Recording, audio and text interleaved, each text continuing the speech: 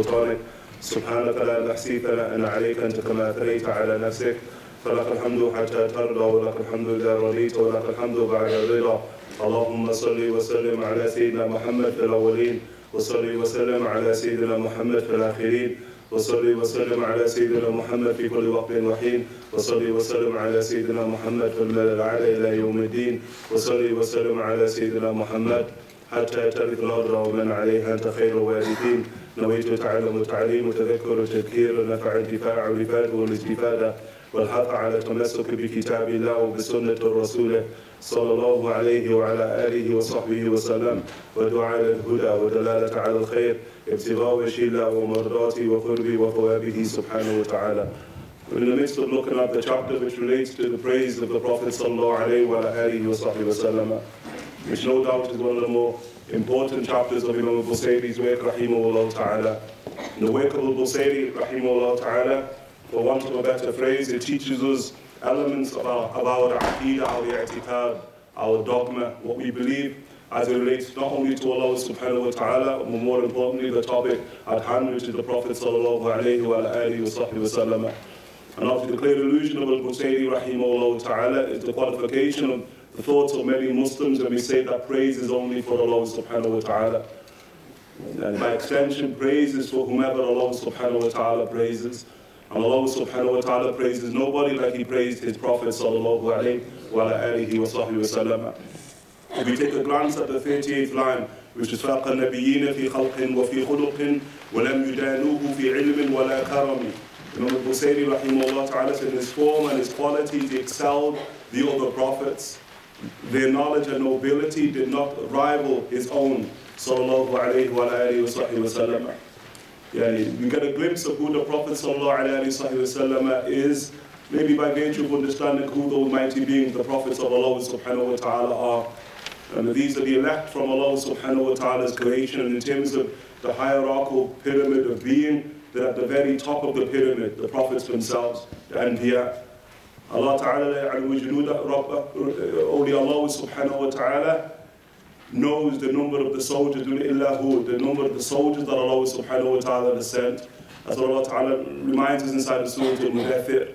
And the soldiers of Allah subhanahu wa ta'ala ordinarily are interpreted as two beings a primary signification as well as a secondary signification. The primary signification is that the soldiers, the junood of Allah subhanahu wa ta'ala, mentioned in Surah Al-Mudathir are the malaika, are the angels. Why? Because the prior verses speak about the angels, in particular those 19 angels, those 19 angels that guard hellfire, that secure hellfire. And so by extension, the ulama radiallahu anhum wardahum, when Allah subhanahu wa ta'ala said that only Allah knows the number of his soldiers, then that's a clear um, reference to the angels themselves. And so the angels in terms of number, then their number is not known to us, it's only known to Allah subhanahu wa ta'ala. And alludes to the great uh, amount of angels that Allah subhanahu wa ta'ala has created. Yani there are more angels in the creation of Allah subhanahu wa ta'ala than atoms in the universe. The second signification are the prophets themselves, the Nabiyuna, the prophets, the Anbiya. And there are different opinions about how many um, prophets Allah subhanahu wa ta'ala has sent. Some of the ulama are upon 124,000, is a clear tradition. Um, authorities in Abu Dhar al-Ghifari inside the, the, the Sahih of Ibn Hibban, where the Prophet when asked how many prophets has Allah subhanahu wa ta'ala sent, he mentioned 124,000 prophets have been sent. In another tradition, 224,000. But the dominant opinion in theology, only Allah Ta'ala knows the number of his soldiers, yani the number of his prophets. In excess of 224,000 prophets. And these beings are perfect. And what this verse of Busayri is alluding to is that they are perfect first and foremost in terms of their form, as well as being perfect in terms of their inner reality. The form is called the khalq, as we discussed, the khalq, which is your created outward manifestation. And that khalq, yura bil basar. The khalq, your outward form, yura bil basar, it's seen with ocular vision, with the physical eyes. That's what we call the khalq. And then they also have a khuluq, a khuluq, وهو يرى بالبصيرة, and that is seen with the basira, which is the eye of the heart, the khuluq. And the prophets, in terms of their khalq, their outward form, as well as in terms of their inward reality, they are perfect, the prophets. Beautifully outward and beautifully inward, like in the tradition of Sayyidina Abdullah ibn Abbas, where he says, ما أرسل الله نبيا قط إلا حسان الوجوه that Allah subhanahu wa ta'ala has never ever sent a prophet saying that he's Hassan al-Wujuh. Hassan al-Wujuh, he's of excellent or perfect wedge. And wedge here in the Arabic language has dual signification, which is the beauty of the language of the Sahaba themselves, in that it, it can allude to outward manifestation, but it can also allude to inward reality, the word wedge in the language of the Arabs, i.e. their entire being. And so the prophets are perfect outwardly and they're perfect inwardly. And remember, this is a context in order for us to begin to understand the reality of whom the Prophet ﷺ is, because that's the context that Al-Busayri rahimahullah ta'ala conjures up. Uh, the Prophet's outwardly perfect, uh, perfect beauty, for amongst their, their type, like we see in the Prophet ﷺ statement about Musa ibn Imran, Moses son of Imran, where the Prophet ﷺ, he, he says he saw Ra'aytu Musa, hadith in Sahih Muslim, that I saw Moses and there he was, darb min azd shanua. He said darb min azd shanua. Darb, here the word darb means the finest specimen of az shanua. I mean the finest manifestation of a tribal called az shanua. Sallallahu alayhi wa sallam, was southern Hadramis. And the Prophet sallallahu alayhi here is just what striking the example of a tribal manifestation, physical manifestation of the like of Sayyidina Musa ibn Imran. But the key word we extrapolate from that is the word darb. He's the finest manifestation of his people. That's Sayyidina Musa ibn, Imran. Just like Jesus is the finest manifestation of his people. Just like Ibrahim is the finest manifestation of his people. Okay? So if you look into the Israelites, there's nobody who's more beautiful in the age of Moses than Moses, the son of Imran. Perfect in his manifestation. But likewise also in terms of his character, radiallahu ta'ala anhu warda. In one of the great works of Islam, which is the work called Dala'il al-Nabuwa by Imam Abu Nu'aym al-Asfahani rahimahullah ta'ala, when he speaks about the elect qualities that Allah subhanahu wa ta'ala affords all prophets. Of the things he makes mention, he mentions four reality, but of the things he makes mention of is what he calls fadilatun naw'iyya. Fadilatun naw'iyya, that the prophets in terms of their knower, in terms of their form and in with reality, they're superior in reality. Okay? Superior to all others of their type, the prophets.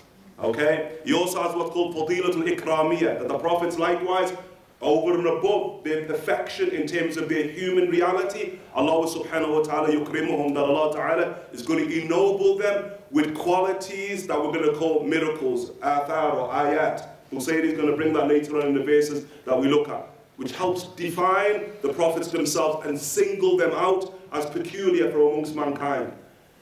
Here Imam Busayri فاق النبيين في خلق وفي خلق.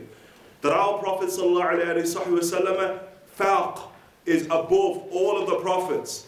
في خلق in terms of his physical form as well as في خلق in terms of his inward character sallallahu alayhi wa alayhi wa sallam. And so from the, yani, the, the, privileges that we as Muslims have been afforded by Allah subhanahu wa ta'ala is that we, alhamdulillah, that we have an inroad into or, um, apprehending elements of the khalq, of the physical form of the Prophet ﷺ.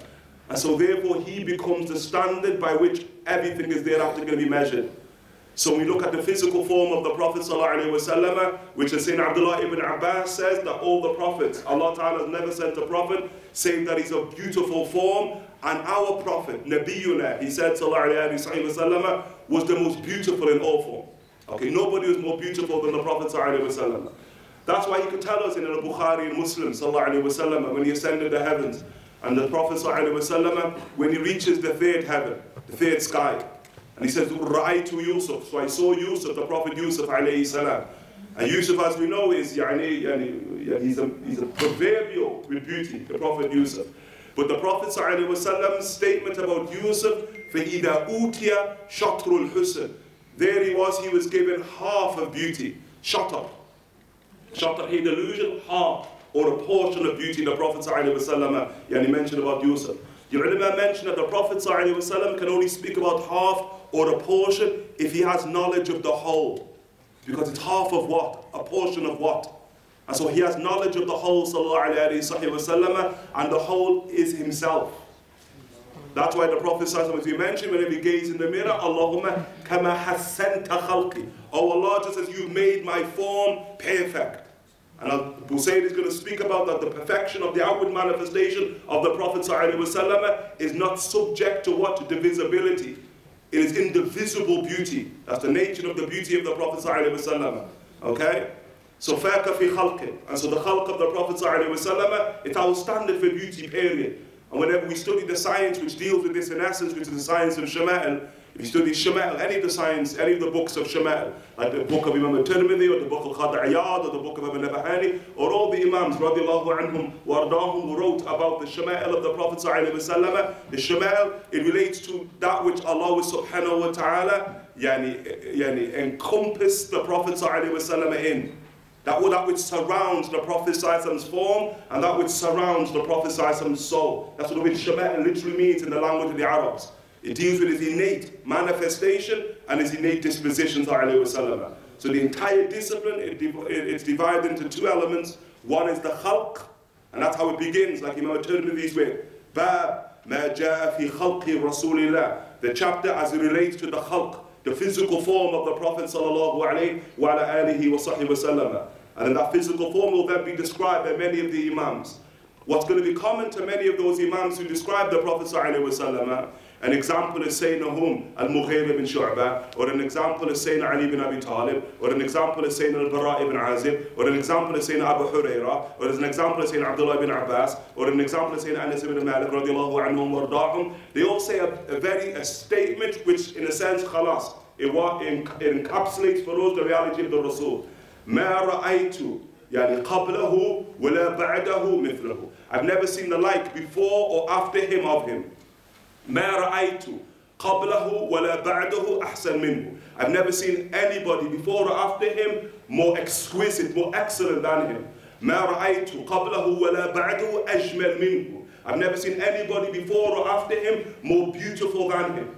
That's what you see in all of the in all of the, the tongues of those great Sahaba who describe the Prophet sallallahu alaihi wasallam. And so you see elements of his physical description because it's perfection for us. And the prophets are going to fall either side of the reality of the Prophet So as an example, saying Anas ibn Malik, and we're just playing this out inshallah tabarakallah, because maybe some of us have not had itila, have not come into contact of what the Prophet looks like.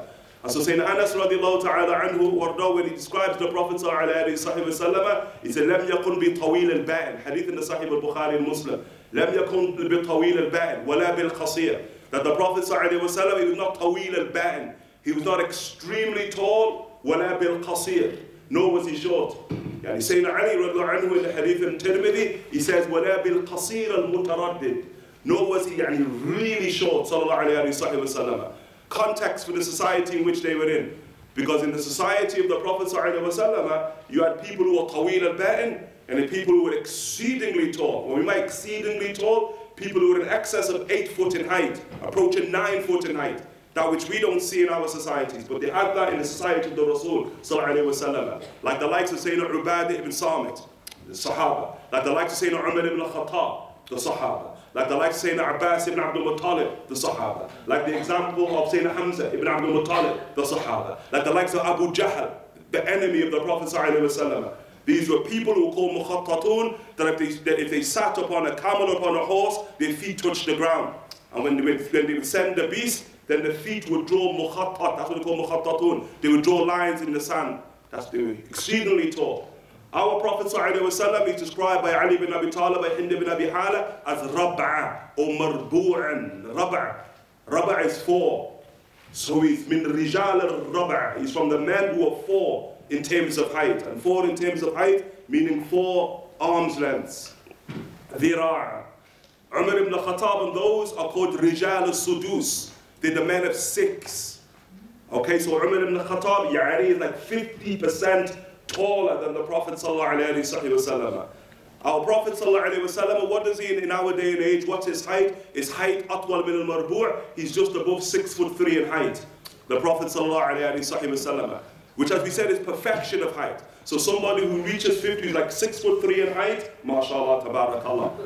You've got one of the attributes of the Prophet sallallahu And Malcolm Gladwell in his work, which is called Outliers, when he studied those extraordinary figures yeah, in terms of human history and in contemporary society, and when he looked at Fortune 100 leaders, those who lead Fortune 100 companies, he said every single one of them is over six foot in height. Every one of them. And then the majority of them is like 70% of them, six foot three in height. for him it may be random, but for us it's prophetic. And the reason they're given leadership over the companies that dominate planet Earth is because they have a sifa min sifat al-Rasul. Because they have an attribute from the attribute of the Rasul sallallahu Height is atwal, height is always associated with leadership. And that's what the ulama make mention about why the Prophet he was taller than average, six foot three in height, but ma, the Prophet would never walk alongside anybody. Ma masha ahadan, wala jalasa ahadan, wa atwalu minhu. No, he never walked alongside somebody who was taller than him, or he sat alongside somebody who was taller than him, save that the Prophet would appear to be taller than them. And so you see the hadith in Sahih Muslim where the Prophet is walking hand in hand with Umar ibn Khattab. If you could see them walking hand in hand, the Prophet ﷺ, who is six foot three, and Umar ibn Khattab is approaching nine foot in height, the Prophet is taller than Sayyidina Umar ibn Khattab.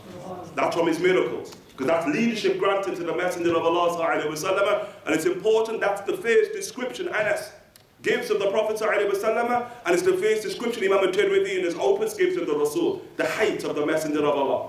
عرفتم ليس بالطويل البائن ولا بالقصير وليس بالآدم ولا ولا بالأبيض الأمحق the Prophet ﷺ is not Adam in color, nor is he Abyad al-Amhaq in color. He two extremes. Adam, Abyad al-Amhaq. Yani Adam as a color is dark Abyad al-Amhaq, you could call it like yeah, dark skin. Abyad al-Amhaq is like, like ex extremely sort of fair. And in white. The Prophet ﷺ is not either or. Sallallahu alayhi wa But the Prophet ﷺ tends towards Udma. Utma, the way Adam is the color of his companions. So you look at the companions of the Rasul, like Sayyidina Umar ibn Khattab, described Ibn Hajar, Shadid al-Utma, extremely Adam. يعني سيدنا عثمان ibn Affan, Adam. Sayyidina Ali ibn Abi Talib, Adam. Sayyidina يعني Talha ibn Ubaidillah, Adam, Adam, Adam, Adam, Adam. You look for the colors of the companions, they're described as Adam. But the Rasul did not have the complexion of his companions. Sallallahu alayhi wa alayhi wa sallam. He was fairer than them in complexion. Okay? And that's what abyad, when he's described as abyad, mushawish bil humra, it means he's fairer in complexion than the context of his society. because everything is contextual. Of the Tabi'een who comes to Sayyidina Abdullah ibn Abbas Yazid, he says, Ra'aytu Rasulullah sallallahu alayhi. He says, I saw the Prophet sallallahu alayhi wa in the dream state. I saw Sayyidina Abdullah ibn Abbas, he's never seen the Rasul, he's Tabi'een. Okay, he sees the companions, but he doesn't see the Messenger of Allah sallallahu and so he asks Sayyidina Abdullah, he says to Abdullah bin Abbas, the cousin of the Rasul, who saw the Rasul he says to him, I saw the Prophet sallallahu alayhi in the dream state. And Sayyidina Abdullah bin Abbas said, Sif al-rajul alladhi ra'ayta. Describe to me the man that you saw. And he begins to describe who we saw in the dream state from the things that he says, that he was asmar yamil il al That's the word he used. That he was dark-skinned who tend towards being fair. That's the exact description he gave, Sayyidina Yazid radiallahu anhu warda. Sayyidina Abdullah ibn Abbas says, لو رأيته had you seen him, you would not be able to describe him more perfectly than that. Allah. Me, you saw a perfect vision of the Prophet. What we extrapolate from that is the loan, the complexion of the Rasul himself sallallahu alayhi wa Okay, that's the second thing Sayyidina Anas radiallahu anhu warda brings. That's perfection in terms of complexion sallallahu alayhi wa Of the things that we know perfect, the people who enter paradise. So when you enter paradise, everyone say Ameen. Ameen. Ah, so when you enter paradise, Ameen. inshallah, tabarakallah, just prior to you entering the hadith al-Bukhari, everybody's commanded to what? To submerge inside what's called Nahrul Haya or Nahrul Haya. Okay? In the hadith al-Bukhari. That you, you're commanded to submerge into a river which is called the river of life or it's called the river of modesty. Both are given in the hadith al-Bukhari. And when you come out of the river, it's brand new creation. That's like in Surah Al-Waqi'ah. Inna ansha'nahunna insha'a. And verily we bring them forth as a new creation. That's when they emerge from the river of life before entering into paradise. From amongst the things that you get is the height of Sayyidina Adam, alayhi salam. And we believe the likes of Umar were tall. Adam was even taller. Uh, Umar like 9 foot, Adam alayhi salam 100 foot in height. Uh, Sayyidina Adam 100 foot in height. And that's the height of the people of paradise. Of the things that you're also given in terms of age is the age of Jesus, the son of Mary, alayhi salam. I.e., Jesus, the son of Mary, when he ascended to the heavens. Okay? 33 or 34 years of age. Sayyidina Isa ibn Maryam. You're given that. Of the things you're given is what the Prophet saw in the third heaven. The beauty of Yusuf. No, I know you want the beauty of Muhammad ﷺ. No, that's just for him. As with غير Qasim. That's not going to, that indivisible beauty. That's not going to be given to anybody but him ﷺ. But alhamdulillah, you get the beauty of Yusuf. Shatrul Husn, Ahlul Jannah. Radiallahu ta'ala anhum wardahum. And it's a beauty, yazdad husna. In paradise, it only increases, mashallah, each lahta, it increases inside of paradise. And it takes quantum increase when you see Allah. When you gaze ala wajhillah, when you gaze at the beauty of God, then you become beauty.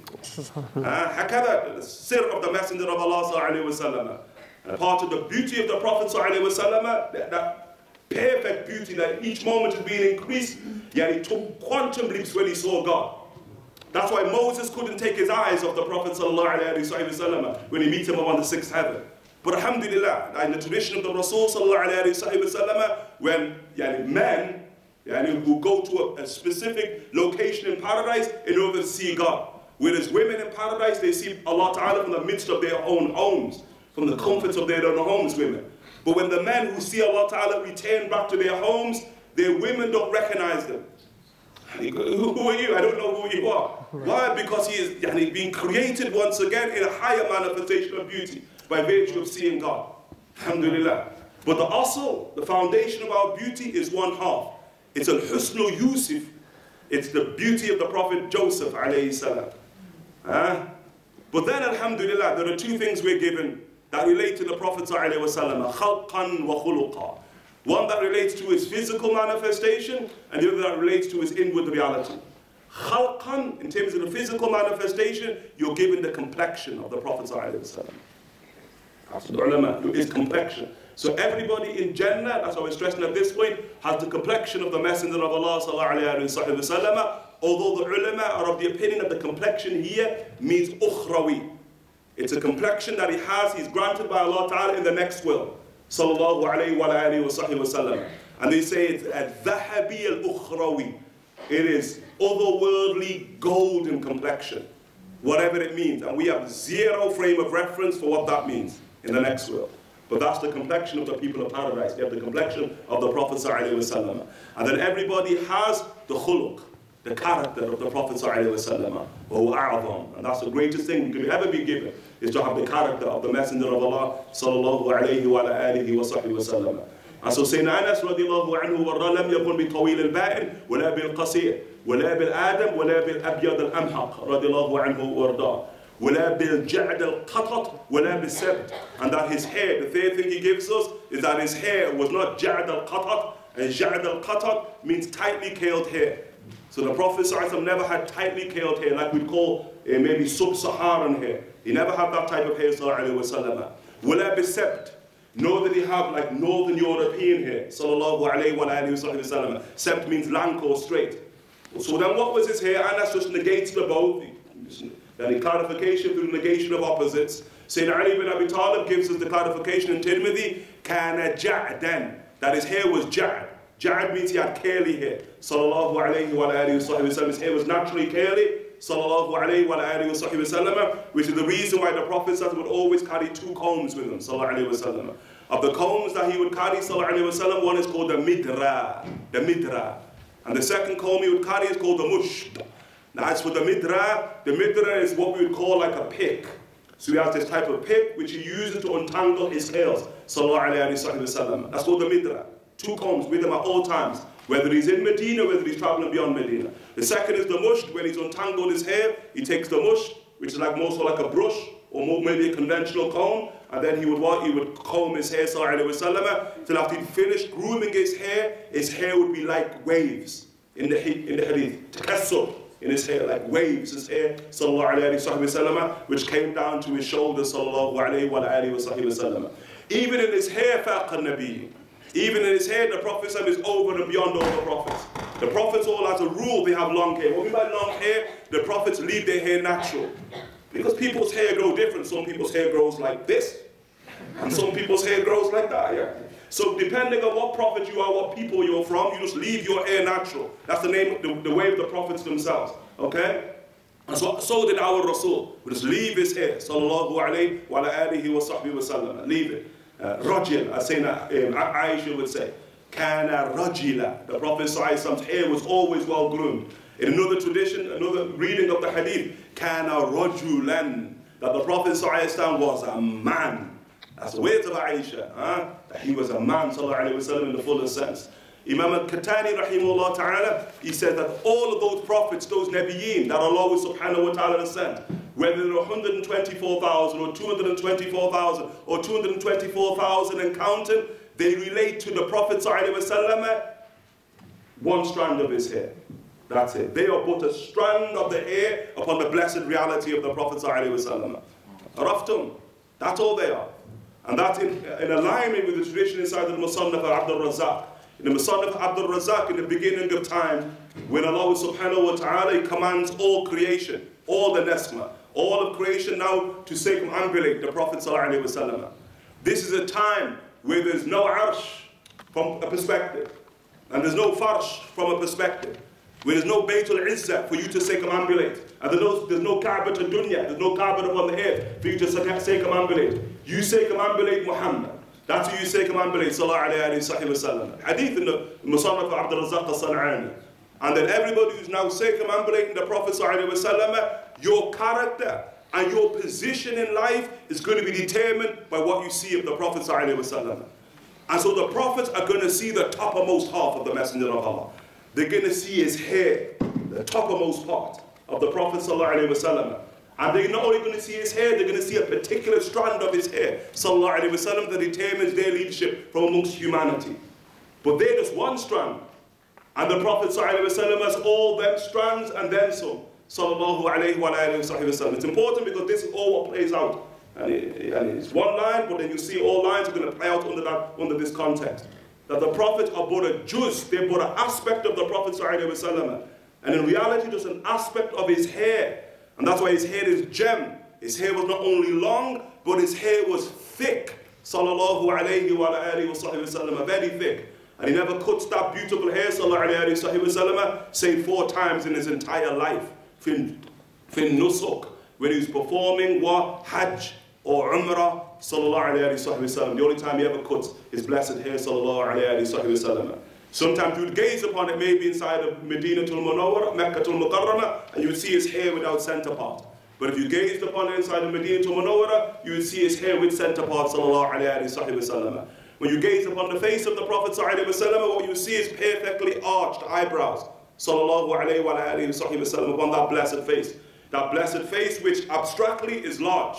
Dakhm al-Ras, in the hadith of Sayyidina Hind, that he has a larger head, sallallahu alayhi wa alayhi wa. That's when you look at it abstractly without looking at his form, the rest of his bodily form. But when you see his head in relation to his bodily form, Mu'tadil al-Khalq, the way to say the Hind, the son of Khadija anhu warda, who's the most perfect of all of those who describe the Prophet sallallahu that he was perfectly symmetrical. His form was perfectly balanced. You know, they have the mean number, 1.6, which defines beauty. That, that, that, number that they give you now, that they use now, the moderns are going to use in order to define what type of face is attractive to all human beings. The perfect mean. Our Prophet yeah, he was the perfect mean. And whether it's 1.60129, whatever number that they give you, or it is what something else, it is Muhammad, that perfect mean. When you're gazing at everything that relates to the Prophet as said, in a beautiful and perfect way in the language of the Arabs, he, he is perfect in terms of his proportions. And his mouth is perfect. His mouth in relation to his nose is perfect. His nose in relation to his eyes is perfect. His eyes to each other are perfect. His body is perfect, sallallahu alayhi wa sallam. Everything's perfect about the Rasul. His foot size is perfect. And, from the beauties of it, I mean, subhanAllah, right now we're working on the sandal of the Prophet sallallahu alayhi wa sallam. And so we have the measurements of the sandal of the Rasul sallallahu alayhi wa sallam. And the beauty of it, go home and try it. And see if Allah Ta'ala has given you the proportionality of the Prophet Sallallahu Many people have it. Yani, if you take your hand like that, and this the length of his sandal, and you put two fingers, that's the length of his sandal. Sallallahu That's the length of his sandal. And then if you took at the bottom part of his sandal, Sallallahu and you put what? Seven fingers. Then you go to the midst of it, and you reduce it to five. And you go to the top of it, and you reduce it, and you increase it to six. They're the proportions of the sandal of the Rasul. Draw it yourself with your own hand. Then put your foot upon it. And if your foot matches, alhamdulillah. Araftum, that you now have a portion of the Messenger of Allah sallallahu alayhi wasallam in that regard. In what regard? That your feet are proportional to your hands. Sallallahu alayhi wa wa sallam in perfect proportion. Hakada the Messenger of Allah sallallahu alayhi wa sallam was. Beautiful eyes, long eyelashes, sallallahu alayhi wa sallam. His eyes were big in nature. And the, the, the, pupils and the cornea were extremely dark, extremely black, sallallahu alayhi wa sallam. And the eyeballs were extremely white. It's called ad-da'ij. Ad-da'ij al-aynayn in the Arabic language. And his eyes was da'ija. Okay? White eyeballs with extremely black contrasting pupils and cornea. Sallallahu alayhi wasallam. The tips of his eyes here were oriental in nature. Sallallahu alayhi. That's fakhar. That is the glory of the, of, the, of the Far Eastern people, those in the lands of China, those in the lands of what? Of Japan, that they have elements of the actual perfect form of the Prophet Sallallahu. He had a perfectly aquiline nose, sallallahu alayhi wa sallam. A very long mouth, dali' al-fam.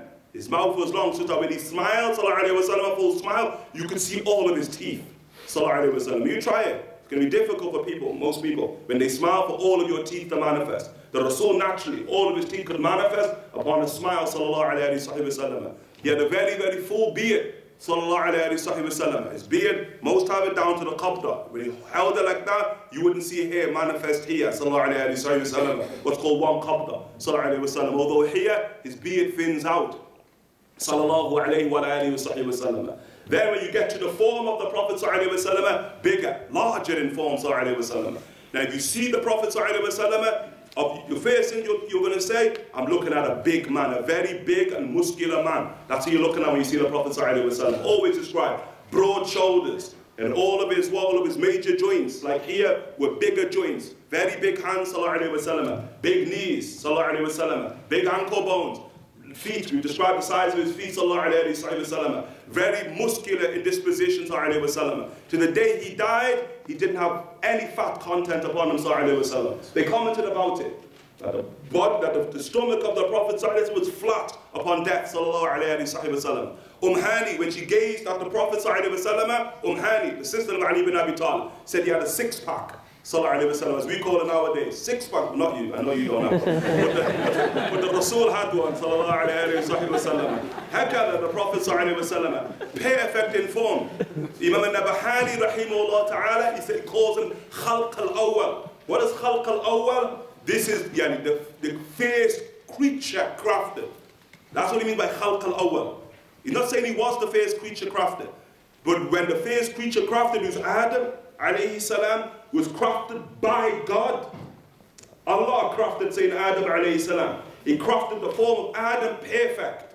And the Prophet had that perfection of physical form. Sallallahu alayhi wa alayhi wa. That's his form. And the Prophet faqahum. Yeah, he's above all of the prophets who are likewise perfect, but perfection is of degrees. Eh? And his sallallahu knows no end, knows no limit. The perfection of his form sallallahu alayhi wa wa sahbihi That's why one of the beauties of the Rasul wa is possible that people can describe the Messenger of Allah wa and they're gazing at the same reality and they describe him in different ways. That's possible, as you're going to see with the Sahaba themselves. That's what you call melakuti. That's angelic in nature. Because the nature of beauty, it's never static. Never static. Raftum, then it changes. Not like the angels. Gabriel doesn't come in one static form. He's always beautiful with different forms, different manifestations. And so the Prophet them likewise, that's one of the beauties that we see inside of the dream state. Which one of us, Yani, which one of us, when we describe who we saw in our dream state, we're going to describe the same reality. And, and we're saying we all see the Messenger of Allah And guaranteed when we to get an artist's impression of who we saw inside of the dream state differs. Guaranteed, if you to get awliya of Allah Ta'ala, the people of Allah Ta'ala, and then you're going to get artist impression about who they're seeing in perfect description, and it matches the description in the Shama'il, they will all draw different people. And that is about who he is, not what their eyes or their hearts are seeing. That is the nature of beauty that has multiple manifestations. And that's the messenger of Allah sallallahu alayhi wa ala alihi wa sahbihi wa sallam. So فَاقَ النَّبِيِّينَ فِي خَلْقٍ He's above the prophets in terms of khalq, in terms of his physical form, but likewise in terms of his khuluq, sallallahu alayhi wa alihi wa sahbihi wa sallam. And he mentions of the khuluq, وَلَا يُدَانُوهُ فِي عِلْمٍ وَلَا كَرَمٍ That they do not come close to the Prophet sallallahu alayhi wa sallam in terms of ilm. And ilm is a khuluq. It's a character trait. It's a disposition of the soul. And likewise also karam. Likewise a disposition of the soul. The, the nature of khuluq, and in brief, khuluq returns back to four realities. This is our sort of scheme of what character is. How Allah Ta'ala crafts the soul of the human being. Okay? That the nature of khuluq, it relates to what's called desire. What you call nafs or hawa. Nafs, desire. It relates to what you call ghadab, anger, irascible faculty. It relates to what you call aql, intellectual faculty or intelligence or mind. And it relates to what you call just balance, what we call adl, balance. That which places those faculties into a state of equilibrium. Okay? That's what we call character. When we say someone's got a good character, what do you mean? They've got a good character. Good character, first and foremost, it's all about balance. Okay? And you have to be the furthest from two extremes. Okay, the furthest from two extremes in terms of what? You have to be the furthest from two extremes in terms of intellect, intelligence. So, yani, an excessive intelligence, mean excessive intelligence? Where people, they use their mind in an excessive way.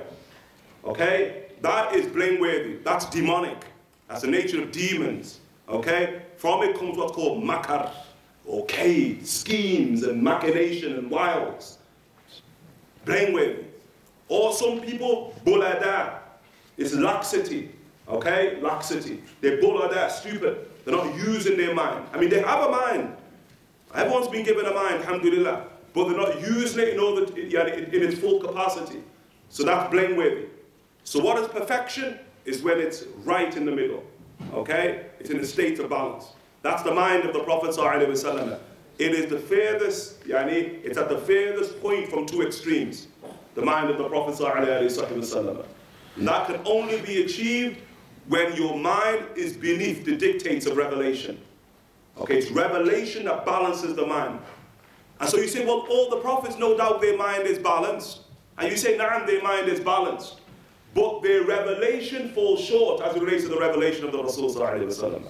Okay? And their mind can only be in a state of equilibrium in accordance to the revelation that they receive from Allah subhanahu wa ta'ala. All of the revelation of the prophets is all cultural, it's local phenomena. It's not universal. But the Prophet ﷺ has universal revelation. And so he has universal mind. The second is in terms of ghadab, balance, in terms of your faculty of anger. Okay? Somebody whose, whose anger is to an extreme is what you call tahawwur. He's reckless. He's reckless, somebody like that. Huh? Somebody whose anger is in a state of laxity, he's a coward. The opposite. Whereas somebody whose anger is in a state of balance, then that's what you call courage or bravery. And that's what the Prophet ﷺ has. Okay, perfectly. Likewise, desire. Okay, you can have people who are profligates, greedy, you can have people who, khalas, lack it completely. They have no desire for anything whatsoever. What is the purpose of life? They, want to, they have no desire for nothing in life. Blameworthy. But placing it right in the middle, we call temperance, iffa. And that's what the Prophet Wasallam had. Okay? And you approach those realities through the doors of the companions. Like in the hadith of the Prophet ﷺ, which explains his character. And a Medina to Sakha.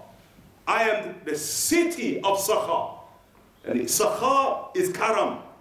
Okay? It's karam. It's munificence, generosity. And sakha is when you give in accordance to your reality. Not in accordance to the reality of the one who asks. Okay? So somebody, a man could come to the Prophet وسلم, and ask the Prophet, Bedu, ask the Prophet وسلم, in Hadith of Sayyidina Anas. And the Prophet وسلم, can give the man ma al-jabalain, the entire valley full with sheep and goats and cows and camels, all that's yours. The prophet, the man's only asking for what? For the, uh, dirham or dirhamain or dinar or dinarain, two gold coins, two silver coins. But he's asking in accordance to his want. And the Prophet gives in accordance to his want. Completely different. So he gives him, mashallah, tabarakallah, between two mountains, So he said, I am the city of Sakha, the city of generosity. Wa Abu Bakr babuha. And Abu Bakr is just the gateway. He's just the door to that city. But I am the city. sallallahu So you want to get a sense of generosity because we don't get a sense of generosity with the prophets. That's not necessarily what Revelation brought us, how generous the prophets were. But we get a sense of generosity with the companions. And we know about Abu Bakr as-Siddiq at the Battle of Tabuk, when the Prophet he, bring, the Prophet he brings all of his wealth and he gives it to the Messenger of Allah And the Prophet said, what have you left for your family? Said, I've left them Allah and His Messenger. That's all I've left them. And he gives his entire wealth, Abu Bakr as-Siddiq, yet he's just the door to the city of generosity of the Messenger of Allah. That's all he is. And then the Prophet says, and a Medina to Shuja'a. Remember, generosity relates to the temperance of your desire. And it's your desire for wealth, your, de your desire for money, your desire also for what? Yani, and it can also relate to issues that relate to other, sexual. But we'll come to that. Huh? But the Prophet ﷺ here, sakha, it's all about generosity of wealth, generosity of food, wa sallam. That which sustains man. Okay? As the Prophet ﷺ said, that which is between your two jaws, which means what you place inside of your stomach on one of its meanings. That generosity. Then the second is, I am the city of bravery, of courage. Wa Umar babuha. And Umar is the gateway to that city. That's all Umar ibn Khattab is. Umar, as is mentioned in the hadith, that لا يخاف لومة لائم. Umar fears nobody. لا يخاف لومة لائم. That's how he's described as Khalifatul Mustakhlaf in the famous dream of the companion radiallahu anhu warda. That's Ibn al-Khattab. But he's bought a gateway, Sayyidina Umar ibn Khattab, to the city of bravery, who is the Prophet sallallahu alaihi wasallam. مدينة العفة. I am the what? The city of temperance. He says sallallahu alaihi wasallam. عفة. وعثمان ibn Affan بابها. يعني عثمان ibn Affan صاحب العفة. It's in his name, Sayyidina Uthman. Ibn Affan al-Iffa. That's Sayyidina Uthman. What does iffa mean? It goes back to desire. Uh, but what type of desire is this? Sexual desire. The ability to temper your sexual desire. And that's Dhunnurain. That's the possessor of the two lights, Sayyidina Uthman ibn Affan. He's both the gateway.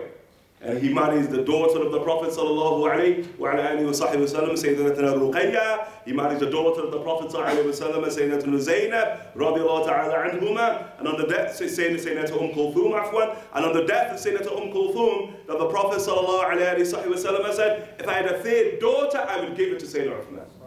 Why? Because he's the gateway to the city of temperance. But he's but the gateway, he's but the door.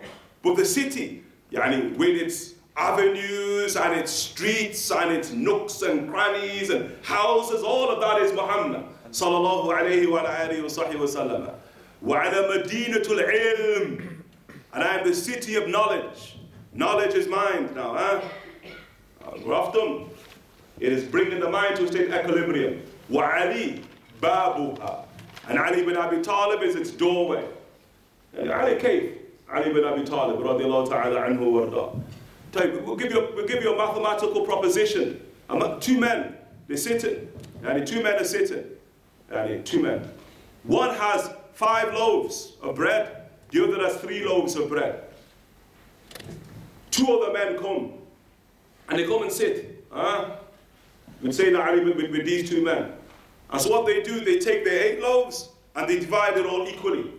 Okay, three of them and half one. And they divide it all equally. So there's five of them now. Divide it all equally, all of them eat equal portions.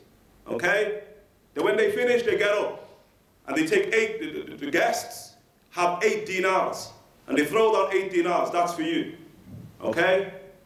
And so the, the man who had five loaves, he said, Eddie, five are mine. I'll take five dinars. And the other man, he said, you can have three dinars. The other man said, no, no, no, that ain't fair. It's half-half. He said, how is it half-half? He said, it's half-half.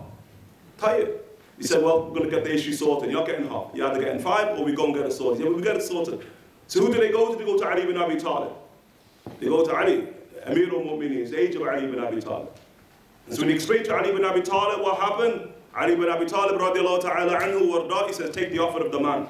He's offering you three, take three. He said, no, no, I'm not, I'm, not, I'm not interested in three or what have you. I'm interested in the truth.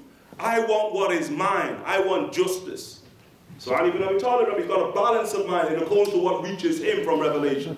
He's, he's a gateway to knowledge. Ali ibn Abi Talib said, you want justice? Okay, he takes seven, you take one. That's justice. Full stop. Work it out. And Ali, straight off. He takes seven, you take one. Go on, you mathematicians from amongst Jews. We'll leave that to next class. See how Ali ibn Abi Talib got to that in a split second. But he's but the gateway to knowledge. And the city is Muhammad. Sallallahu alayhi wa alihi wa sallam. Okay? وَلَمْ يُدَانُوهُ فِي عِلْمٍ وَلَا كَرَمٍ and obviously the reality of these great imams of the religion, anhum, they represent the prophets, as our Prophet وسلم, told us with the likes of Abu Bakr and the likes of um, Umar ibn Khattab at the Battle of Badr. Ya Abu Bakr, you are like Jesus and you're like Ibrahim. O Umar, you are like Nuh and you're like Moses. Ah. And the prophets are but doors. If the Sahaba maybe are outer doors to the city, then the prophets are inner doors. But they but doors in relation to the city, the multiple cities of the Messenger of Allah I don't believe that it stops at Sakha and it stops at what? Shuja'a and it stops at Iffa and it stops at Ilm, munificence, courage, temperance, and knowledge. The Prophet could have said that about each and every single one of his companions. because, and then some. Because his attributes of perfection are unlimited sallallahu alayhi wa alayhi wa sallam, but what we allude to are what you call yani, ru'us al-fada'il, are those sort of axiomatic, superior, yani, meritorious qualities of the Prophet sallallahu alayhi wa sallam. Type context, inshallah, tabarakallah, and we'll read, inshallah ta'ala, what Busayri has to say. وكل من رسول الله ملتمس غرف من البحر ورشف من الديم يعني كلهم من رسول الله every single one of them from the messenger of Allah are multemis and they're seeking something of the messenger of God. Any portion to define their reality. غَرْفَ مِنَ الْبَحْرِ Handfuls from the sea or drops of drizzle. يعني رَشْفًا مِنَ الدِّيَمِ Rashwa means like a sip. And he's sipping the rainwater that is upon the ground. That's all they get from the messenger of Allah. From the greatest of the prophets, Sayyidina Ibrahim alayhi salam, he's no doubt he's going to get يعني يعني يعني غرفة من البحر He's going to get a handful from the sea of the Prophet ﷺ, but it's but a handful. And when Sayyidina Ibrahim takes from the sea of Muhammad ﷺ, لا ينقص في ذلك شيئا. It doesn't decrease the sea of the Prophet ﷺ one iota. Araf? Doesn't. And likewise when people sip from what? From the water that splashes from his ocean ﷺ upon the shore bed, from amongst the prophets, it doesn't decrease his ocean one iota sallallahu alayhi wa alayhi wa sallam. This is the prophets. What you're seeing is praise.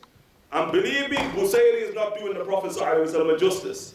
But alhamdulillah, it's a good start for any one of us who want to begin to try to apprehend men who Who is the Prophet sallallahu wasallam? وَوَاقِفُونَ لَدَيْهِ I mean, look at, look at the words, even to show you the subtlety of Busayri. When he speaks about those who are being compared to the Messenger of Allah, he calls them Nabiyyin, prophets. But then he calls the Nabi, the messenger of God. Does everyone get the subtle point? Yeah, he, he categorizes the prophets with prophecy, lowest rank, prophecy. But when he speaks about the prophet, he doesn't call him the prophet. He calls him the messenger of God, highest rank. That they're not even of him in terms of that reality. I mean, yes, they're all prophets. But when you say the Nabi, who do you mean? When you say the prophet, your mind cannot think of Ibrahim. Your mind cannot think of Moses. Your mind cannot think of Jesus. Your mind cannot think of Noah, Nuh alayhi salam, alayhim salam. Your mind can only think of Muhammad. There are 313 of them are messengers, are Rusul. 313 in our Aqidah Hadith ibn Hibban. 313. Of those prophets now move to a higher degree where they become messengers from Allah subhanahu wa ta'ala. But when you say the messenger of God, you can only think of Muhammad because they are his titles. That's the titles of our Messenger sallallahu He is Nabiullah, he is Rasulullah sallallahu alayhi wa sallam. And all of them seek from the Prophet sallallahu alayhi wa sallam handfuls from the sea or drops of drizzle. وواقفون وواقفون لديه عند حدهم من نطقة العلم أو من شكلة الحكم واقفون لديه before him do they stand. Every one of them stands in front of the Prophet in the haddihim, at their appointed or delineated point. They do not transgress one iota in front of the Messenger of Allah. I mean, you would have got that picture at what Isra al-Mi'raj in Iliyah, at Bayt al-Maqdis. You would have saw all of the prophets, every single one of them, waqifuna ladayhi. And he's standing right in front of the Prophet those who are nearest to him are nearest to God. From amongst the prophets themselves. Those who are in the back row, they're the ones who are most distant from God in their proximity to God.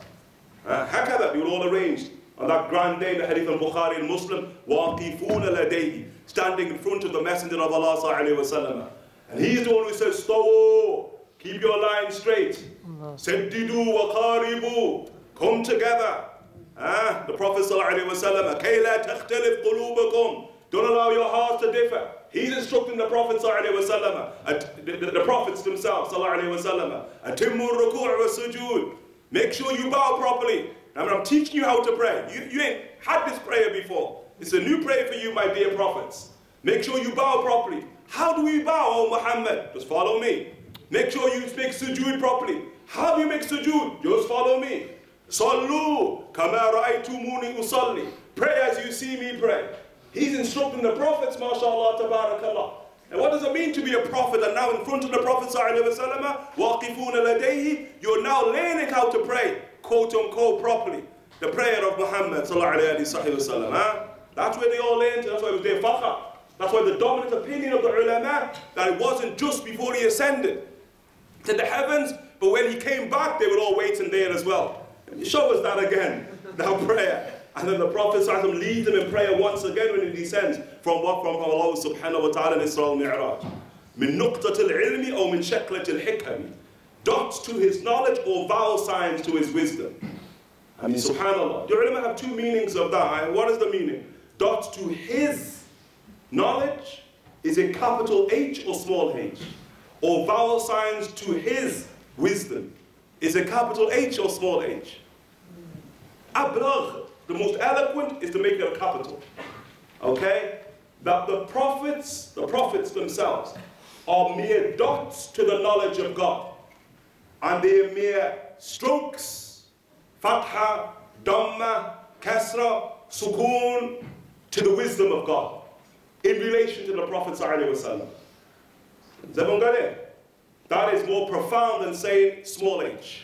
Like as, we, as we've used here, maybe you see a small h, to his knowledge. I to his knowledge, sallallahu alayhi wa. Because the Prophet sallallahu alayhi wa sallam, mashallah, tabarakallah, he's created. Sallallahu alayhi wa and Allah Ta'ala is the one who created him. So when you compare creation to the infinite, Allah Ta'ala, you get zero. That's what you get. Uh, so they are nothing in comparison to the Prophet Sallallahu Alaihi Wasallam. That's the metaphor, the best metaphor that Busayri is striking. Both of them. You can strike him with Allah and you strike him with the Prophet ﷺ in relation to how the Prophet relate to the Prophet ﷺ himself. فهو الذي تم معناه وصورته ثم اصطفاه حبيبا So he, it is, whose meaning and form reach perfection. Okay?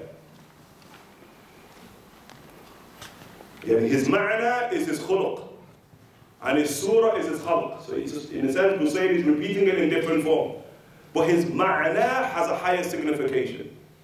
And when you say his surah has a higher signification, why does it have a higher signification? Because the Prophet ﷺ in perpetual increase in beauty and perfection. Khalq and khuluq, those two terms, what do they allude to? Creation. His form is created by God. And his character is created by God. That's khalq and khuluq. That's how he begins, Abu saying, now line 38. Now, فَهُوَ الَّذِي تَمَّ مَعْنَاهُ وَصُورَتُهُ Ma'na, that word ma'na, which alludes to character, is how you describe God. Surah, likewise, is how you can also describe God. Everyone got it? You, you, you cannot describe God by khalq and khuluq. Those terms, hasha, you can never apply to the Creator, subhanahu wa ta'ala. Because they allude to that which the Creator creates. Outward form and inward reality. But when you use the word ma'na and you use the word surah, both of them have applicability to the divine.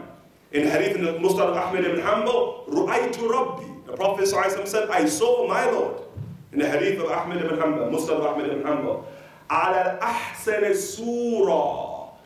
In the greatest surah. In the most beautiful surah. That's in the hadith. So that term surah applies to the divine. Have you got this? The second is ma'na. Those of us who study theology, when you study the attributes of Allah, what are the attributes of Allah Ta'ala called? Somebody remind me. Huh? What are they called? What's the attributes of God called? Huh? What are the attributes in theology called? Sifat al-ma'ani. They call them ma'ani. Singular which is ma'na. They're the attributes of God. They call them ma'ani. And so now here, this is high now. Okay? That's like so Ruwayli radiallahu anhu warda, هو الذي تخلق بأخلاق الرحمن. that the Prophet was the one who inculcated the attributes of the beneficence of God. This is higher now. And they tamam, perfect and complete. Difference between tamam, tam, and between kamal. Perfection is kamal is from a perspective. Tamam is kamal from every perspective. He is complete from every single perspective, sallallahu alayhi wa Perfect from every single angle, sallallahu alayhi wa sallam. ثم اصطفاه حبيبا بارئ النسب. Yani then Allah اصطفاه. Allah Ta'ala is the one who chose him as what? As a Habib. As the beloved of Allah subhanahu wa ta'ala. Who chose him? Bari Nasabi. The Bari is Allah, the creator. The one who created original purity. And Nasab are us. Beings that breathe. That's what Nasami means. Beings that have a spirit, a soul, that breathe, that they have a breath. The creator of the human breath, of human life, of human life form, has chosen the messenger of Allah وسلم, as his Habib.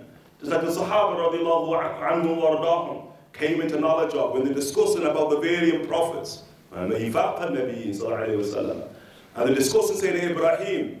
Ibrahim is great. Why is he great? Because he's Khalilullah. He's the intimate friend of Allah subhanahu wa ta'ala. But Jesus is great too. Why is he great? Because he's Kalimatullah wa Ruhullah. What about Moses? Moses is great, they're saying. Why? Because he's Najiyullah, Kalimullah. Huh?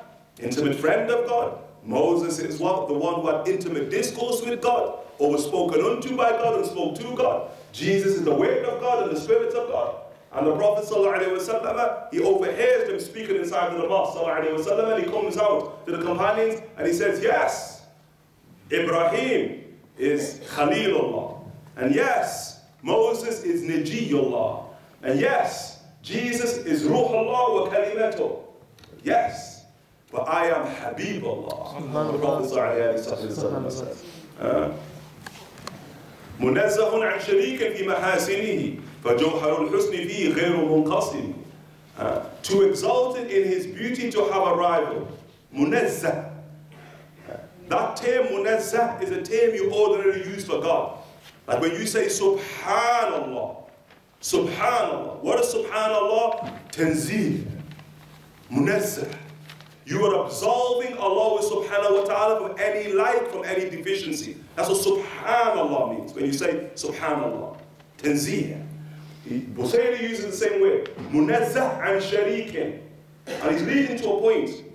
Munazzah an sharikin. The Prophet ﷺ, like we say about Allah, la sharika la. That's what Busayri is saying. In terms of what? Fi mahasinihi. In terms of his perfect beauty. Munazzah an sharik. Nobody is like him. For Jawharul Husni fihi, yani, what, what here translated in him is the undivided essence of all beauty. This meaning the Jawhar husn, the Jawhar in the Arabic language, it could mean a precious jewel. In theology, the Jawhar, what is the Jawhar? Is the indivisible unit of matter. That's what Busayri is drawn from here. The Prophet ﷺ is the indivisible unit of beauty. لا شريك له. He has no like whatsoever. غير منقسم. That's what Busayri says, radiallahu anhu wa Are we with it? Huh? What we are. Because if you get to that point, some of you say, oh, oh, oh, oh, hold up a minute. What do you mean munazzah? What do you mean la sharika lahu? What do you mean perfect? What do you mean? Because maybe some of us, in terms of our aqidah, hada, who Allah, that's Allah. And now at this point, you're comparing the Prophet to God. That's why Busayri rahimahullah ta'ala said, دَعْتْهُ النَّصَارَ فِي نَبِيِّهِمْ no, no, no, no. Set aside the claim the Christians made for their prophet. And make sure, this is Aqidah now. Make sure we don't get confused with the Khaliq and the Makhluk. No, no confusion here. Allah is Allah. Intahal Amar. Full stop. And Muslims do not confuse anybody with Allah Ta'ala. Make sure that's our Aqidah. If you have some of that ishtibah, some of that confusion between Allah Ta'ala and the Prophet Sallallahu you're going to have to return back to yourself and purify your heart. Okay? Here we're speaking about the corpus of creation, created beings. And the Prophet ﷺ, within the corpus of creation, nobody is like him. We all understand this? Okay? This is not a comparison between Allah and the Prophet ﷺ. Because in reality, there's no comparison between Allah and any of his creatures. That's our aqidah. And so here he wants to make sure that we understand this. And he draws it from the hadith in Sahih al-Bukhari of the Prophet sallallahu where the Prophet sallallahu alayhi wa sallam, لا تطروني كما أطرت النصارى عيسى بن مريم ولكن قولوا عبد الله ورسوله He said, don't go to extremities with me in the same way that the Christians, the Nasara, went to extremities with the Messiah or in the Riwayah with, with the son of Mary. However, say the slave of God and his messenger. So you ask a simple question, and it's very simple because some people misuse the actual hadith in al-Bukhari. What was the extremity of the Christians? Godhood. That was the extremity of the Christians. They rendered Jesus God. Or they rendered Jesus the Son of God. Or they rendered Jesus as part of a trinity with God. That's what they did. So the Prophet ﷺ is ring fencing that. لا تطروني كما أطرت النصارى عيسى بن مريم. Do not go to extremities with me in the same way the Christians went to extremities with what the Son of Mary. Okay? Everyone understand this? After that, do whatever you like. And you're still not doing justice to him, What's important about that hadith as an example, now scholars can explain hadith by the chapter they put the hadith in. Do you understand? Like you want to look for that hadith. What chapter will you find it in? Like, for instance, Imam al-Tirmidhi brings in his Shama'il. What chapter does Imam al-Tirmidhi place that hadith? Don't go to extremities with me in the same way the Christians went to extremities with Jesus son of Mary. He places it in the chapter of the humility of the Prophet Yet when he's making that statement, he's being humble. Where is he being humble? Not in relation to Godhood, because in Godhood he is humble. He's the slave of God. No doubt there's humility there. But he's also being humble between creation and God. Where does he lie? And when you're the slave of God, what does that mean? How great a statement that is. How great an apology that is. Ibn Qayyim al-Jawziyah says in the Quran, in Surah Al-Isra, in the Quran, سبحان الذي أسرى بعبده ليلا من المسجد الحرام إلى المسجد الأقصى الذي Barakna Hawla. Glory be to the one who took his slave by night. His slave. Ibn Qayyim al-Jawziyah said that is the great, in his Madarij al-Salikin, he said that is the greatest name Allah has ever called the messenger of Allah. There's nothing greater, there's no greater praise than being a slave of God. And then upon the arsh, you gaze upon the throne of Allah Ta'ala, what do you see? Muhammadun Rasulullah. Sallallahu alayhi wa. But when he calls himself Abdullah, he's still being humble. When he calls himself Rasulullah, he's still being humble in accordance with your fahm, your understanding of what does that mean According to some ulama, in accordance to his own understanding as well, the ulama say. That's when he say that the Prophet, Imam Qadi Iyad in the Shifa, when the Prophet says to Abu Bakr as-Siddiq, لا يعرفني غير ربي, only my Lord knows me. That's why many of the ulama say that the Rasul wasallam, at junctions inside of his life, it's clear, that's what they say. He doesn't know who he is.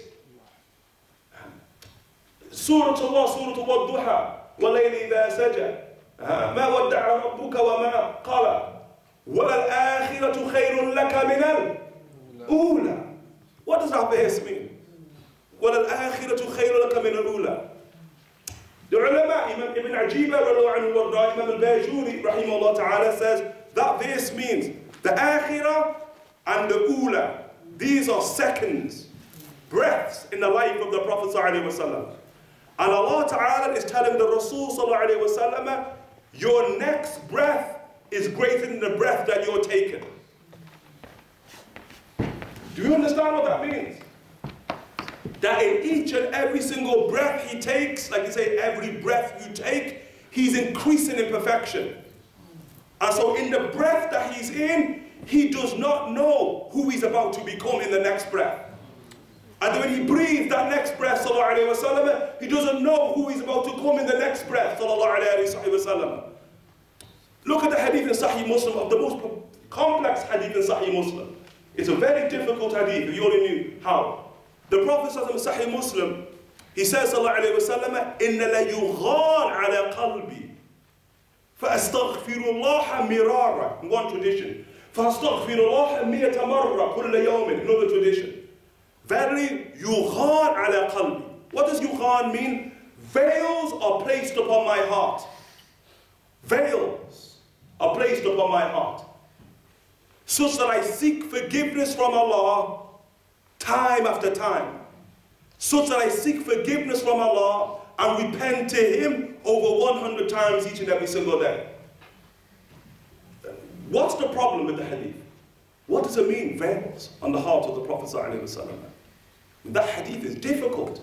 What does it mean, veils? May Allah Ta'ala bless the likes of Abu Hassan al-Shadili, rahimahullah ta'ala. Because Abu Hassan al-Shadili, rahimahullah ta'ala, he sees the Prophet sallallahu inside in a dream state. And then he asks about this hadith. I mean, that's the beauty of the ulama. When you have a problem with the hadith, the Prophet comes to them and explains what it means for them. MashaAllah, what a teacher they have the ulama connection to the Prophet And the Prophet calls Sayyidina Abu Hassan al-Shadili, Ya Mubarak. He calls him, Oh blessed one, you are Mubarak for asking that question. What does it mean, Yughan ala qalbi? He says, Yughan ala qalbi, it means, yani, Ghainul anwar la ghainul aghyar. He says, Sallallahu Alaihi Wasallam, it is veils of light, not veils of other than God of creation, but it's veils of light. What does it mean, veils of light? Do we understand this? In our purification of our soul, there are different types of veils we have that prevent our souls from higher degrees with Allah Ta'ala and higher gnosis. We have veils of aghyar, which are veils of darkness. They come about due to sins. And we have veils of light, which are veils of purity, that come about due to purification. So how then is it a veil? Because when you're in a state of increase unto Allah subhanahu wa ta'ala, in each and every single breath, when you take your second breath and you look back to your prior breath, you seek forgiveness from Allah subhanahu wa ta'ala for the prior breath and the state you were in. That's the messenger of Allah in his degrees of perfection. He's seeking forgiveness from Allah subhanahu wa ta'ala for every single breath that he takes because he's ascending in degrees and when he looks down, it is down to where he's at right now, sallallahu alayhi wa sallam. And that's Abad al-Ahbidin Sarmad al-Sarmadin. That is literally forever his state. So set aside the claim the Christians made for the Prophet. Then compose what praises of him you wish and do so well. وانصب إلى ذات ما شئت من شرف وانصب إلى قدر ما شئت من عظم To his essence assign whatever you will of honor. To his stature assign what greatness you will.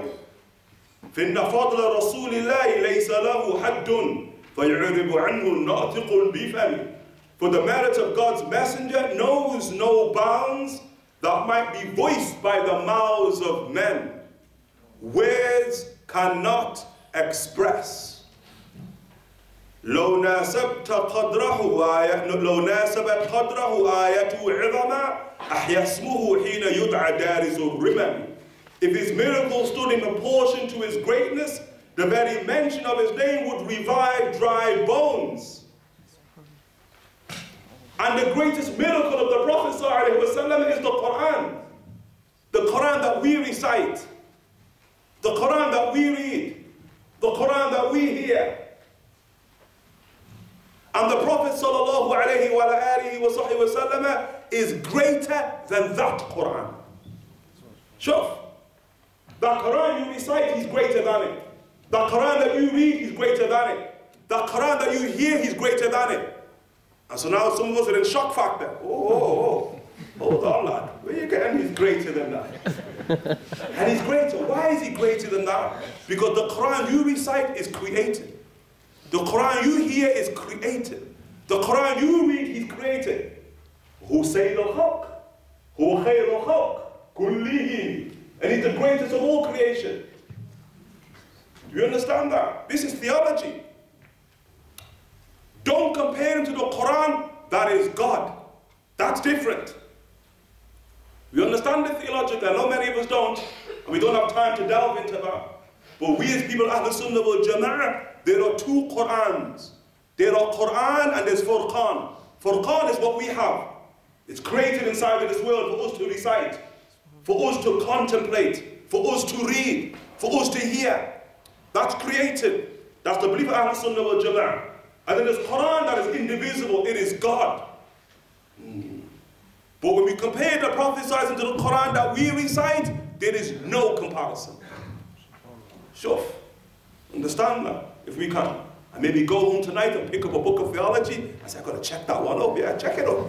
Uh, the Messenger of Allah sallallahu alayhi wa sallam. And so never mind any other miracle. Never mind splitting the moon. Never mind the Prophet ﷺ, water coming out of his hands, or food coming out of his hands, or creatures speaking to him, or trees speaking to him, or birds speaking to him, flapping their wings over them. Never mind the Prophet those people bringing the dead back to life.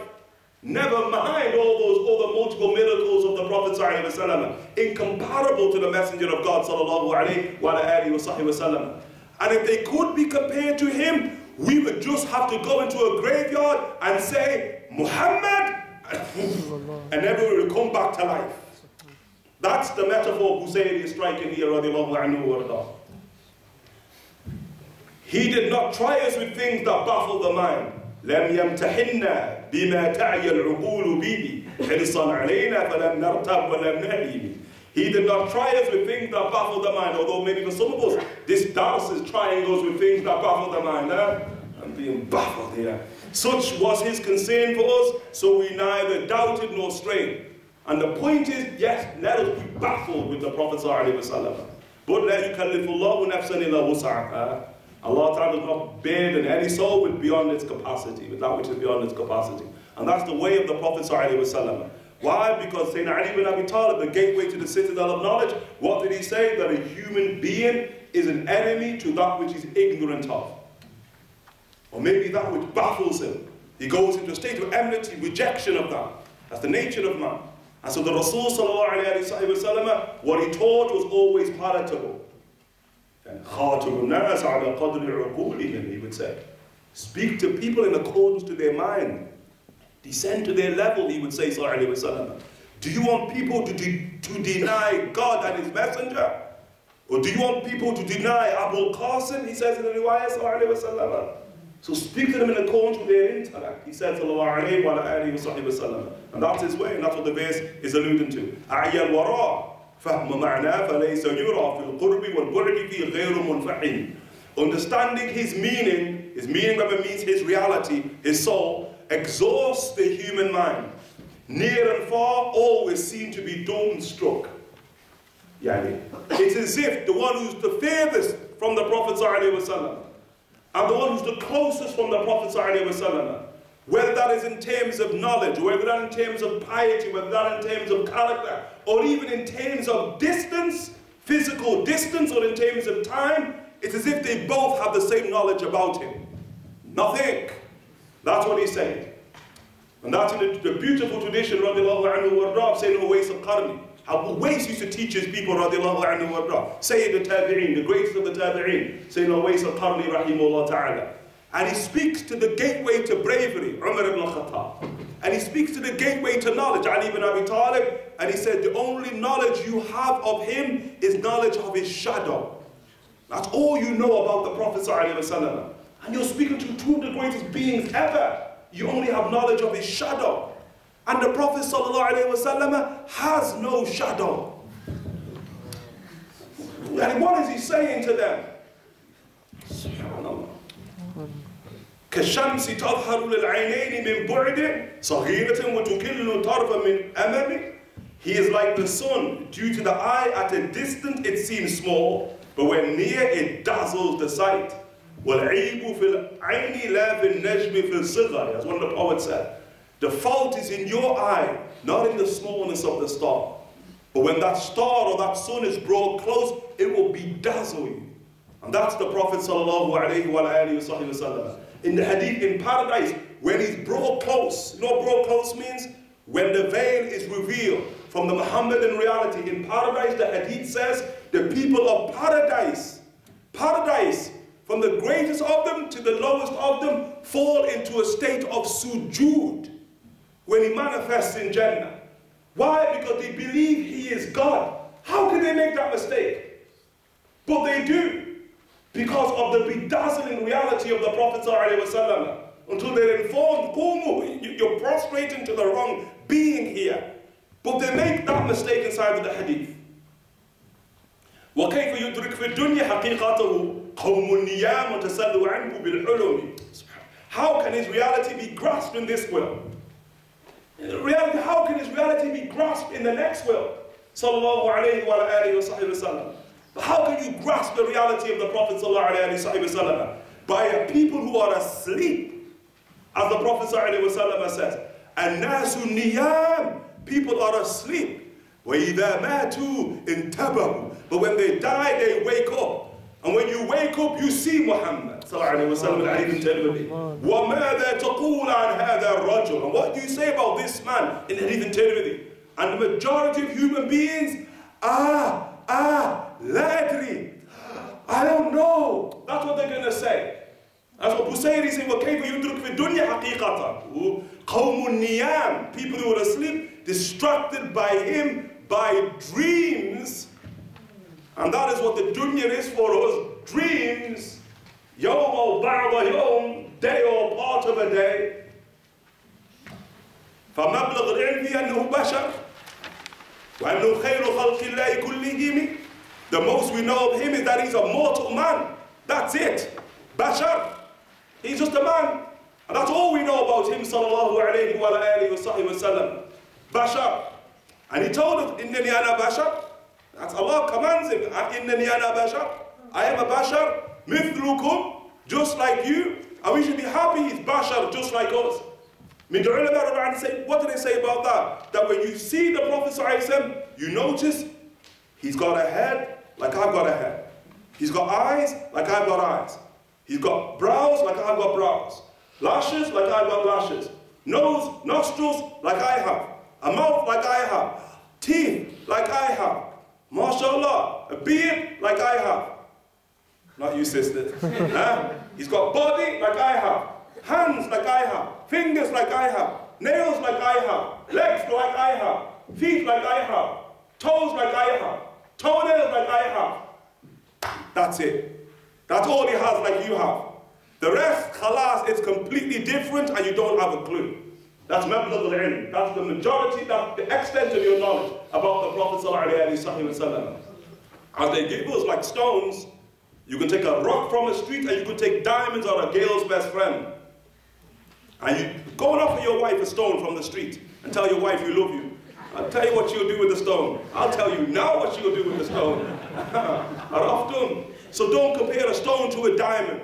I don't compare a human being to the Prophet sallallahu alaihi wasallam. وأنه خير الخلق لا كلهم and that he is the best of all God's creation. وكل آية أتى الرسل الكرام بها إنما اتصلت من نوره بهم. Every miracle which the noble messengers brought was theirs by virtue of his light alone. صلى الله عليه وعلى آله وسلم. فإنه شمس فضل هم كواكبها يظهرن أنوارها للناس في الظلم For he is the sun of virtue and they are its planets. Amid the shadows they display its rays to humanity. I mean look at the beauty of Al-Busayri rahimahullah, the awliya. I mean Busayri is speaking about something we didn't know. Towards you see the planets inside of the skies and you think that they are, that they have light of their own. But they don't have light of their own. They just reflect the light of the sun. And even those other orbits in the sky that do have light of their own, called stars, when the sun manifests, every single star disappears. Hakada, the light of the Prophet ﷺ. There is no light but his light. And his light is drawn from the light of Allah subhanahu wa ta'ala, who know where the samawati are, the illuminator of the heavens and the earth. Akrim بخلق نبي زانه خلق بالحسن مشتمل بالبشر متسم how noble the qualities of a prophet adorned by such traits. How full is his beauty, how gifted with smiling joy. كالزهر في طرف والبحر والبدر في شرف والبحر في كرم والدهر في همم As a flower in delicacy, as the full moon in honor, like the sea in bounty, as persistent as time itself, sallallahu alayhi wa sallam. As a flower, zahar, and that's how he's described, azhar. Sallallahu alayhi wa sallam. It's called azhar, like fragrant, sallallahu alayhi wa sallam. In terms of his reality, he was more fragrant than the best of musks, like in the hadith in Sahih Muslim of Sayyidina Anas radiallahu anhu warda, ما مسست ديباجا ولا حريرا ألين من كف رسول الله. I've never touched silk or brocade that was more smoother than the palms of the hands of the Prophet sallallahu alaihi wasallam. وما شممت عنبرا قط ولا مسكا قط أطيب من ريح رسول الله and I've never smelled amber period or musk period that is more fragrant than the messenger of God sallallahu alayhi wa alayhi wa sallam. he was born fragrant, and he was fragrant, and he increased in fragrance. But as we said about his beauty, it took quantum leaps when he saw Allah Ta'ala, and this was Mi'raj. That's we say from that point on, then the fragrance of the Rasul could be perceived by all. You knew what street he was in Medina to Munawwara by his smell. You knew what child he had touched upon the head by his smell. You knew what body he had touched by the smell of that body, sallallahu alayhi wa alayhi wa sallam. You knew who was getting all the business inside the Medina Munawwara, selling perfume by the sweat of the Rasul sallallahu alayhi wa sallam, which was inside of that perfume. That's the one who's kazahri fi tarafin, sallallahu alayhi wa sallam. Wa fi sharafin. And it's like the full moon, sharaf, the night of the 14th, sallallahu alayhi wa sallam. In terms of its nobility and sharaf, in terms of its ulu. Sharaf is always when you look up. and when you look up the biggest orbit mashallah tabarakallah inside of the sky at night in the midst of darkness is the full moon and that's the Prophet ﷺ, Tala'al, Badaru alayna. He's the Badr that has appeared in front of us, risen over us. Sallallahu alayhi wa alihi wa sahbihi wa sallam. فإذا هو أحسن من البدر فإذا هو أحسن من القمر in the hadith الموطأ نظرت إلى القمر I gazed at the full moon and then I gazed at the Prophet عليه وسلم and then I gazed at the full moon and I gazed at the Prophet can you imagine somebody doing that that's all they're doing. And then he says, فَإِذَا هُوَ أَحْسَنُ مِنَ الْقَمَرِ And he is more beautiful than the full moon. Yeah, we don't get it, but in the language of the Arabs, there is nothing more beautiful than the full moon. Nothing. In language and literature, in metaphor, nothing more beautiful than the full moon. There he is, more beautiful than the full moon, sallallahu alayhi wa sallam. وَالْبَحْرِ فِي كَرَمٍ And he's a bahr, he's an ocean in terms of his karam. And that which the Prophet touches becomes bahar. Like in the hadith of Sayyidina Abu Talha. When he's upon the horse of Abu Talha, إِنَّهُ لَبَحَرٌ Verily it's a bahar. A horse that was well finished. And then he came back to life by virtue of the Prophet ﷺ riding that blessed horse. وَالدَّهْرِ فِي هِمَمٍ And he's like time in terms of its persistence or in terms of its aspiration. Sallallahu alayhi wa sallam. أكان the messenger of Allah sallallahu alayhi wa sallam. كأنه كأنه وفرد من جلالته بعسكر حين تلقاه وفي عشب Such is his splendor that even alone in his glory, superb courtiers and guards seem to stand around him. Sallallahu alayhi wa sallam. And remember, when you think about it, sallallahu alayhi wa sallam, you have to think about who he was. You know, they said you can tell people by who surrounds them. You can tell who a person is by who their company is. Al-marru ala dini khalilihi, the Prophet sallallahu is. Uh, look at the Prophet sallallahu The Prophet sallallahu hangs out with Gabriel. The Prophet sallallahu hangs out with Mikael. The Prophet hangs out with Israfil. Hangs out even with Azrael. He hangs out with Ibrahim. He hangs out with Musa and Isa. And he hangs out with Nuh. The Prophet sallallahu hangs out with Abu Bakr.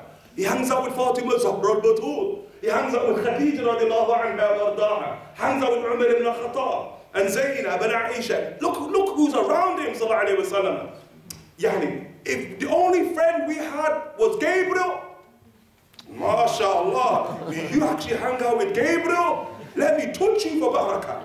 If the only friend that you had was Abu Bakr as-Siddiq, please, let me smell you for barakah. And the Prophet has all of the greatest of Allah Ta'ala's creatures, creatures as his hashia, as his posse. Sallallahu alayhi wa alayhi wa sallam. هكذا المسجد of Allah. كأنما اللؤلؤ المكنون في صدف من معدنه منطق منه ومبتسم For the rich mind of his speech and his smile hidden pearls seem to sparkle from their shell. That's what he said when he spoke, sallallahu alayhi wa sallam, his speech, saying the Hind ibn Abi Hala, the hadith says his speech was like arrayed pearls coming out of his mouth. That's why the Sahaba anhu they embraced every single word that he took. That's why the Prophet used to speak in a way that they could want, that they could gather and memorize every single word. That's why if they struggled, they would complain like Abu Hurairah of the lack of ability to memorize everything he says, sallallahu And so he takes the rida, sallallahu of Abu Huraira, the scarf of Abu Huraira, spread it out, open it, he opens it, person blesses it, ughrufu, get hold of it, it's yours, he takes it. So I never forgot a single statement from that day on. Abu Huraira anhu says, pearls come out of his mouth. Radiallahu anhu, Prophet in his teeth here, these two front teeth, he has a gap in his two front teeth. From it comes that which is like light. So from our teacher says, like light, yani, yani, you're doing injustice to the Rasul when you compare him to light. Sallallahu That's what they said. It's like light, meaning light is lower than what's coming out of the mouth of the Prophet sallallahu when he speaks. Sallallahu That's how you see it. When he speaks, sallallahu alayhi wa alayhi wa sallam. For he's from the rich mind of his speech and his smile, hidden pearls, seem to sparkle from the ishaq. That's one of the most beautiful things his companions ever experienced. The smile of the messenger of God, sallallahu alayhi wa sallam. Do we understand? That is their very last image of the Prophet sallallahu alayhi wa. When, the, when they're all in the midst of prayer, the Prophet sallallahu alayhi wa opens the curtain from the house of Aisha, and he gazes into the mosque, and then in the midst of prayer, and he just smiles, sallallahu And in the hadith, yaftatin, they're in a state of fitna, the companions, radiallahu anhu, and the hadith is more complex than you think. Because if that's Qibla, he's smiling from there. How can they see it when they're all facing that way? And he's smiling from that direction, sallallahu alayhi It's as if he's in the midst of their prayer. That's the prayer of Muhammadan beings. When they say, Assalamu alayka, nabiyyu, wa rahmatullahi wa barakatuh. Peace be upon you. Not peace be upon him, somebody who's absent. Peace be upon you, somebody who's right in front of me in the midst of prayer. That's, they haven't fitna in the hadith in Sahih Bukhari. In the midst of prayer, because he's smiling. And then the Prophet ﷺ, his last words, As-salah, as-salah, as-salah, as-salah, prayer, prayer, prayer, and prayer. And he closes the curtain, sallallahu alayhi wa sallam, rafiq al to the highest company. And he returns back to Allah subhanahu wa ta'ala, sallallahu alayhi wa alayhi wa sallam. But what, what, what is Your last image of him is a smile. And when they would see him smile, sinnaka ya Rasulullah. May Allah make you smile more, O Messenger of God. The pills that they take from his beautiful array of teeth, sallallahu alayhi wa alihi wa sahbihi wa sallam. لا طيب يعدل تربا ضم أعظمه توبا لمنتشق منه ومرتفع No perfume can rival the air that holds his bones. No perfume. No perfume whatsoever. I mean, the, and the soil of the, the ummah of the Rasul is blessed. Look at Aisha in the hadith, that the, the Negus, uh, Ashama, when he died, you could smell musk coming from his grave. Hadith of Aisha. Aisha, the, the, Najashi, the Negus who becomes Muslim, dies in the 9th year of Hijrah. You could smell musk coming out of his grave. He's from the ummah of the Rasul Imam al-Bukhari, the, the, the, governor of the time of Bukhari, he had to prevent people from the graveyard of al-Bukhari. Why? Because they were taking so much of the soil of Bukhari because of its fragrance, they thought he was, they were going to excavate the body of Bukhari. People just taking soil and soil out of the grave of Imam Bukhari, Muhammad ibn Ismail. And he's put a member of the law of the Ummah of the Rasul sallallahu alayhi. What about the Rasul himself? sallallahu alayhi wa sallam, and that blessed air, which is the greatest air or space in the entire universe by the absolute consensus of the people of Sunnah wal Jama'ah. Absolute consensus. That is the greatest space in the entire universe. And that if we touch it, is the greatest air or particles in the entire universe. And if that's not enough for you, then take the hadith of Fatima Zahra alayhi salam. How she would go to the grave of the Prophet alayhi father alayhi salam, and take the air Ah, and begin to smell the earth of the Prophet ﷺ's grave and place it upon her forehead, saying, Fatima Zahra al-Batul. What then do you say about the great woman and the act that she's doing, radiallahu ta'ala anha, wa No perfume can rival the air that holds his bones, sallallahu alayhi wa. Blessed are they that breathe its fragrance or kiss it. May Allah Ta'ala render us from them, Ameen. May Allah render us from them, Ameen. May Allah Ta'ala render us from them, Ameen. Wa sallallahu ala Sayyidina Muhammadin wa ala alihi wa sallam.